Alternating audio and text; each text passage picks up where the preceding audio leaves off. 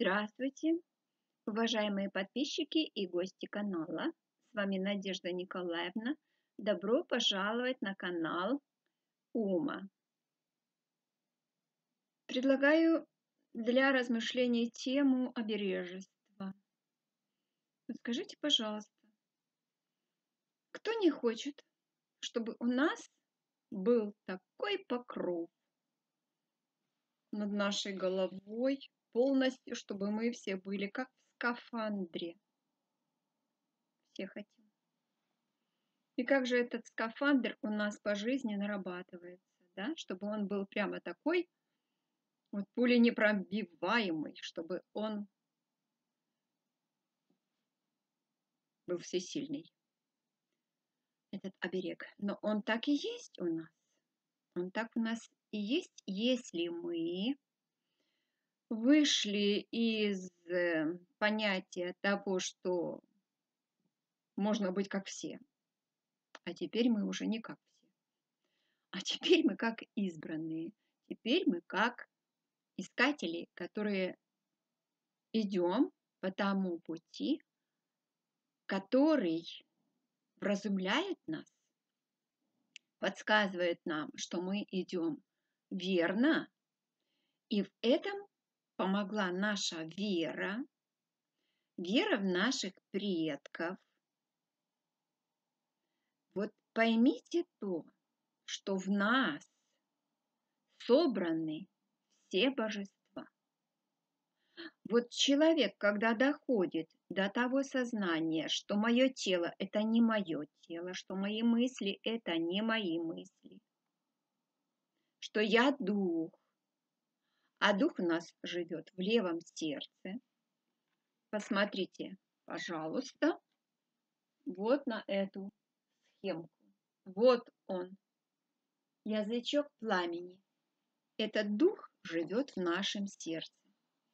И вот с момента того, что это не мое тело, что это не мои мысли, что это не мои эмоции, что это что это дух, что это сила божественная, которая сотворила нас благодаря Матери Земле. Я не буду вдаваться в то, как все это все биологически, тысячелетиями, миллионами лет все это происходило. Но мы с вами дошли сейчас уже до черты, когда уже идет суд. И вот представляете себе, что где-то на планете Земля этот суд совершается прямо вот материально. Да, суд. И все вы поняли, о чем, о чем я вам сказала.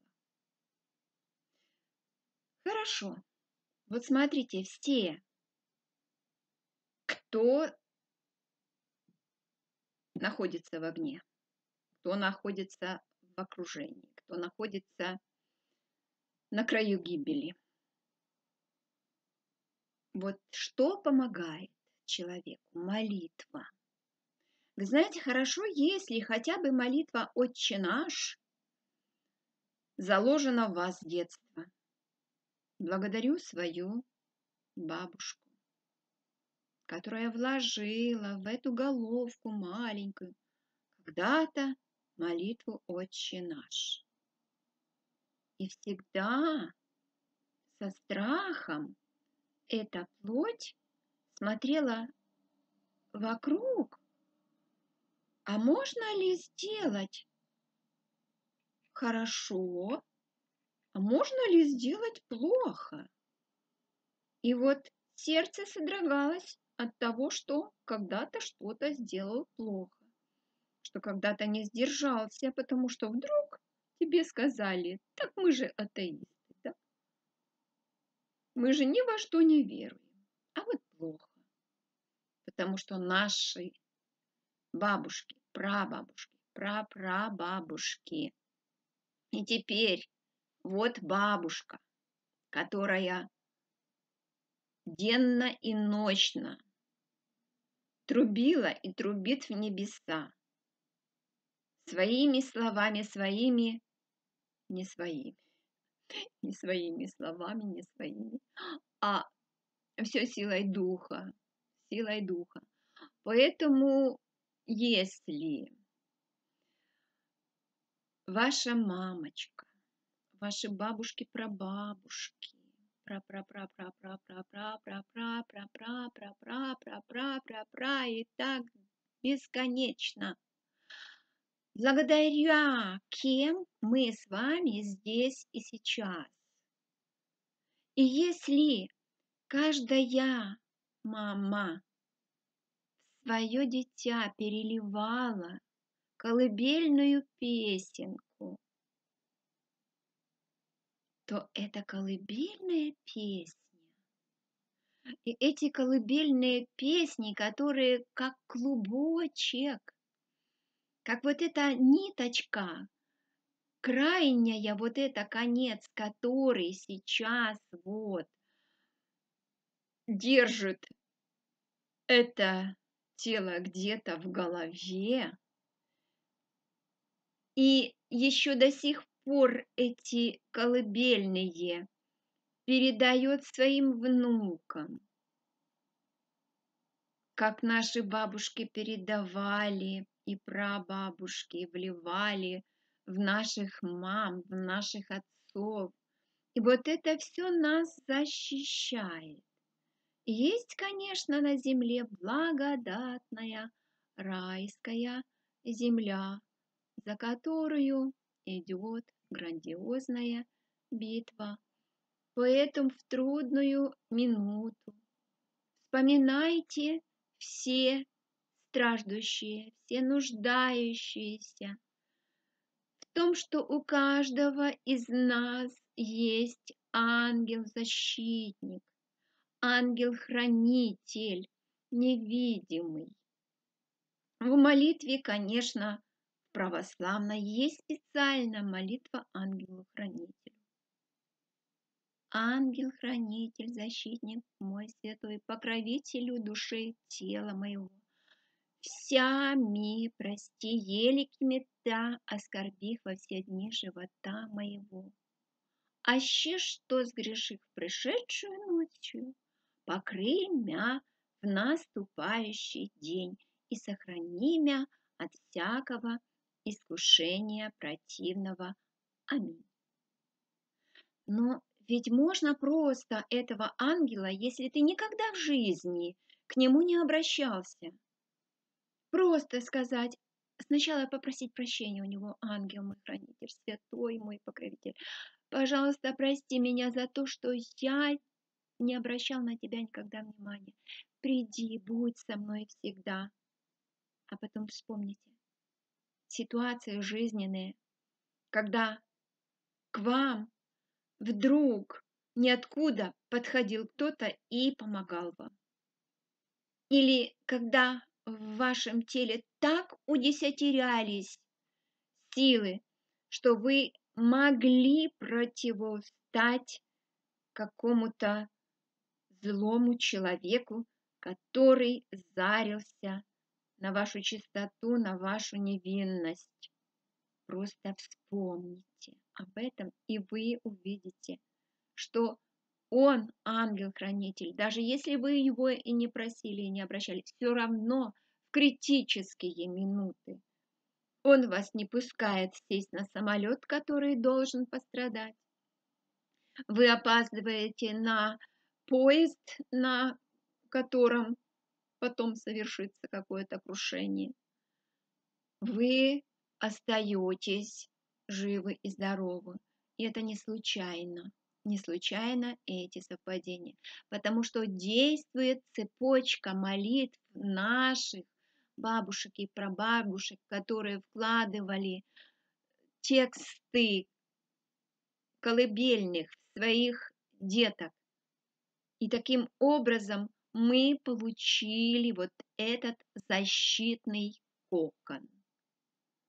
Я просто хочу, чтобы вы знали, что мы с вами защищены всегда, ходите вы в храм или не ходите. стали вы таким продвинутым, или еще остаетесь на, э, ну, на своей э, ступенечке своего развития. Главное, когда вдруг придет критический момент, и случится так, что вы уйдете, что ваша душа просто не сможет находиться в этом теле, потому что это тело вдруг может стать непригодным для души и духа. Поэтому все говорят, что в этот момент критический, когда, когда душа выходит из тела, все видят длинный светящийся коридор. И в этом конце коридора яркий, яркий свет. Еще кто-то говорит, что когда вы к этому свету будете приближаться, вы будете видеть лица своих родственников, но ни в коем случае не нужно останавливаться. А чем ярче свет вот впереди, тем вы должны достигнуть того яркого света. И там вас встретит Бог. Сначала вы увидите картинки всей своей жизни. Прямо вот она промелькнет перед вашими глазами, как калейдоскоп. Вы увидите свои хорошие поступки, вы, увидите свои злые поступки. Когда будут мелькать хорошие картинки, Господь будет восхищаться и радоваться за вас. Но когда вы где-то там увидите то, что плохое промелькнет в вашей памяти, он будет огорчаться. Но для этого, для того, чтобы наконец понять, что у нас есть постоянный защитник, постоянный защитник, и это мама Кундалини, которая спит до определенного времени на крестовой косточке позвоночника. И когда мы просыпаемся. Она нам помогает. Но даже запомните, если вы еще и не реализованный, но она все равно вам помогает в критических ситуациях. Кундалини – это сила Святого Духа. Это то, ради чего мы с вами приходим и каждый раз, если мы с вами понимаем, что это не мое тело, что это тело Господа, Бога, и через наше тонкое тело, через Святой Дух Он входит в наши тела, если мы Ему разрешаем. Он живет нами, Он чувствует нами, Он питается нами. Просто это так все просто. Но просто до этого состояния нужно, наверное, дойти, доползти. И для этого нам даются различные скорби и испытания. Теперь могу сказать, что я благодарю каждый миг своего существования земного за то, что я здесь и теперь. Буквально вчера или позавчера я вам выложила э, видео который я снимала прямо вот на, на улице. Да, погода сейчас э, осенняя. И в этом э, городе, который все-таки близко к океану, близко к морям, поэтому здесь более-менее морской такой климат и осень переживается тяжело, поэтому здесь даже перевели время летнего вот на зимние. Может быть и есть здесь резон, потому что и позже приходит свет, и позже уходит солнечный свет. Поэтому, наверное, все-таки сделали это экономно. Но я отвлеклась. Я сейчас с вами говорю о наших защитниках, о наших помощниках. Честное слово, хочу признаться. Часто во сне некоторые люди видят, что на них какая-то сила наступает, прямо вот идет фронтом прямо на тебя. ты стараешься православным крестом перекреститься, ты крестишь его, а оно все равно на тебя идет.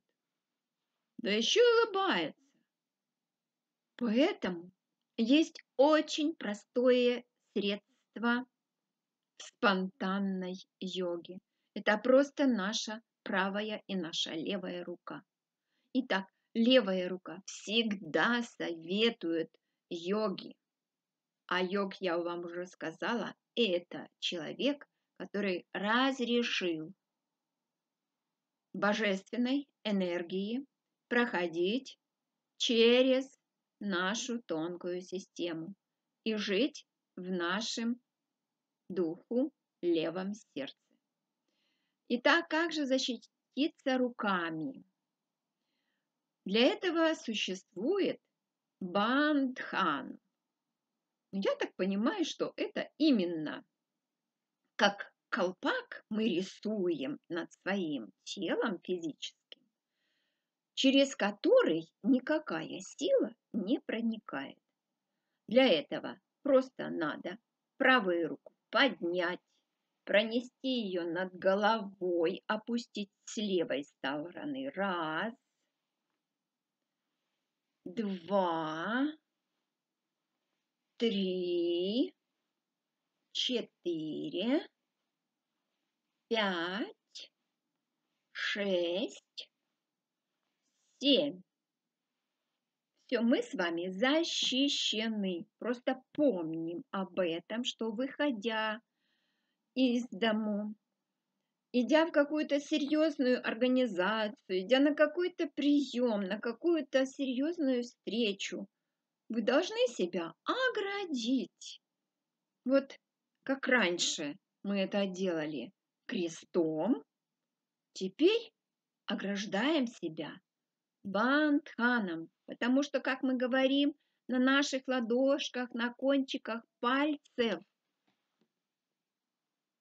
мы чувствуем прохладный ветерок Святаго Духа на ладони, на пятках, на темечке головы.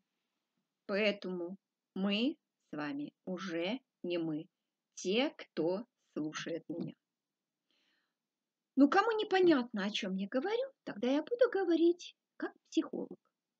Потому что будьте сами себе учителями, будьте сами себе докторами и будьте сами себе психологами. Ну, еще в школе я заканчивала украинскую школу, поэтому был, было такое произведение «Стой, смерть, остановись».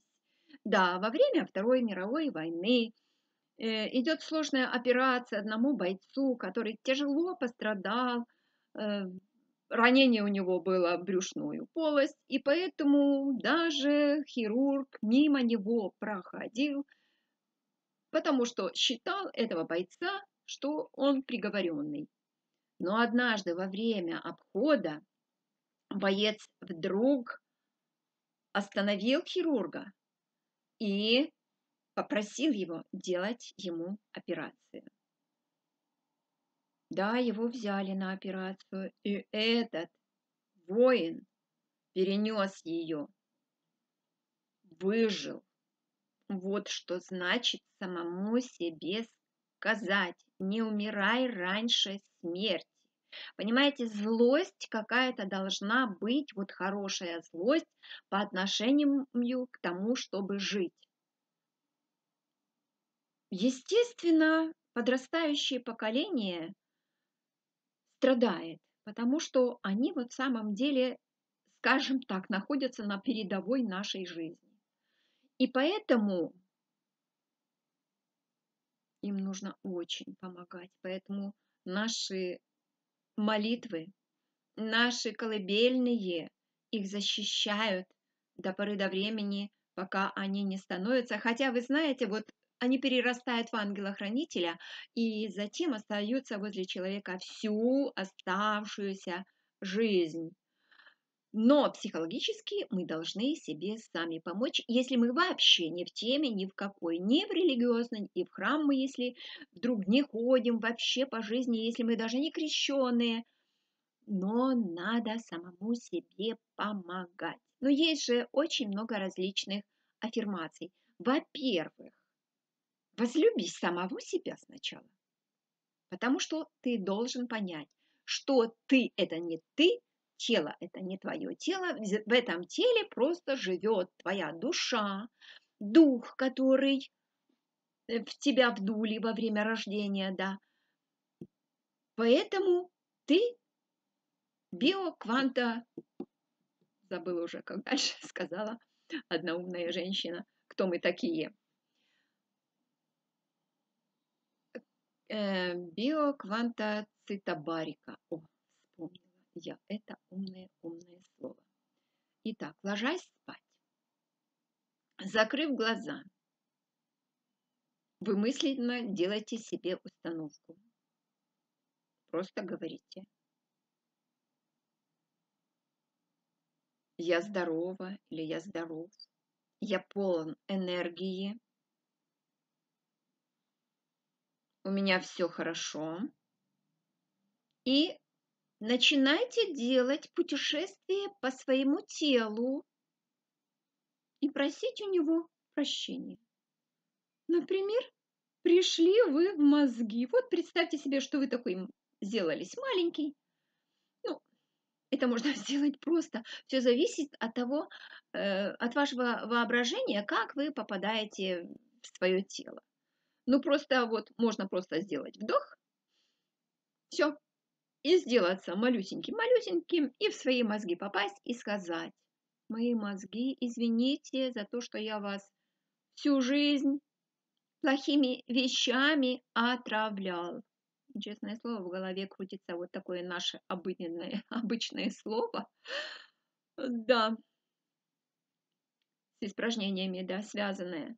Вот по жизни, по жизни глумимся над этим телом отравляем мозги и все прочее. Но создали же спиртное для того, чтобы протирать поверхности блестящие, для того, чтобы это служило топливом для машин, но не для тела, для сугреву, как вы говорите. Поэтому, если теперь уже у вас что-то болит, поэтому просто проснувшись утром и ложась вечером, не уставайте себе повторять «Я здоров, я совершенно здоров». Мои мозги, извините меня за то, что я издевался над вами. Мои ноженьки, благодарю вас за то, что вы всегда выводите меня из трудных ситуаций. А теперь я вас прошу, мои ноги, чтобы вы меня э, не вели в неправильном направлении, чтобы я не шел в злую алкоголическую компанию. Моя печеночка, мои селезеночки, простите меня за то, что я вас так убил перееданием, обжигал ваши капиллярчики, ваши сосудики спиртными напитками. Мой желудок, прости меня, что я издевался над тобой неправильной едой. Вы понимаете, что я говорю от того, что какие мысли мне сейчас приходят в голову для того, чтобы убедить вас в том, что вы сами являетесь себе доктором, что вы сами себе являетесь учителем. И нужная информация вам приходит в нужное время и в нужном месте, пока вы еще на пути. Поэтому старайтесь работать над собой. Ну, вот, кажется, я э, выполнила свою программу, которую наметила, о чем говорить. Поэтому вам говорю, пишите комментарии, хорошие или замечания какие-то. Нажимайте колокольчик, подписывайтесь на мой канал. Всего вам доброго!